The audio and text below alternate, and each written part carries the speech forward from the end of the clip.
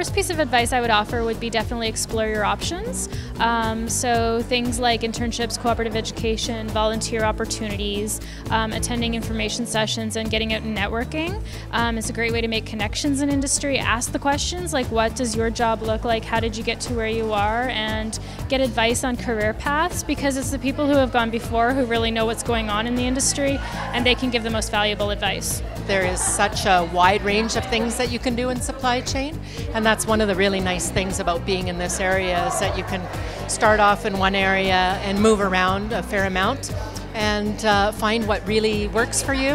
And the other thing that I like about supply chain is that it's across all industries.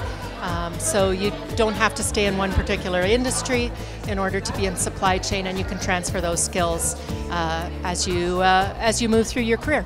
My advice would be to learn as much as, as possible about the industry, opportunities, meet people at various stages of their career and learn what they liked, what they did not like, and make your own conclusions. Is that the industry for you? If that's yes, uh, what's your ultimate goal? What's your plan? And, and, and go from there. Don't accept traditional employment methods.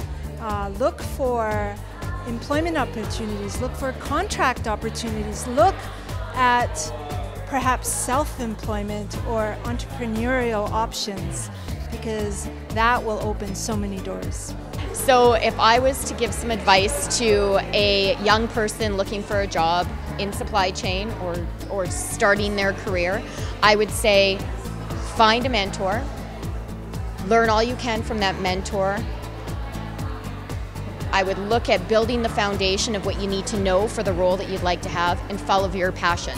So if you're passionate about something and you find the people around you that can support you, you'll find where your niche is and you'll succeed because you have the network around you. So network, network, network.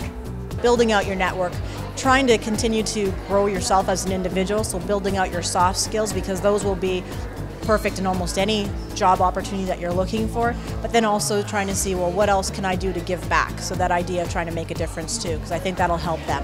Exercise some patience in terms of learning um, what the expectations are, uh, share your ideas, and um, I think that uh, it's, it's to find very creative ways in being able to contribute value and to demonstrate that to people who will recognize you for that.